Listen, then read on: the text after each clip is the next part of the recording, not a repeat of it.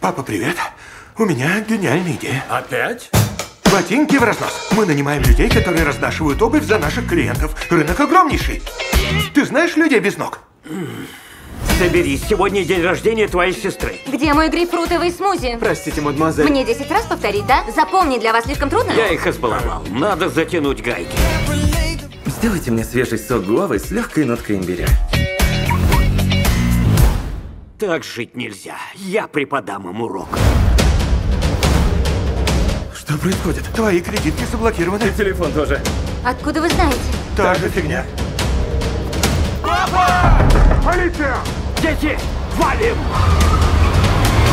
Деньги кончились, нам светит тюрьма. Не понял. Боже, куда мы едем? Ляжем на дно в Марселе. А дальше что будем делать? То, чего вы никогда в жизни не делали. Думать, что ли? Работать. Что-что?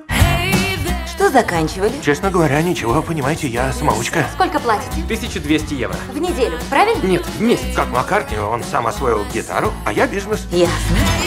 Тогда у меня есть кое-что для вас. О, А служебная тачка будет? Как же без этого? Неплохо для начала. Алекс даже не вышел из дома. приятного аппетита. А мне? Кто не работает, тот не ест. Я никогда не был рядом.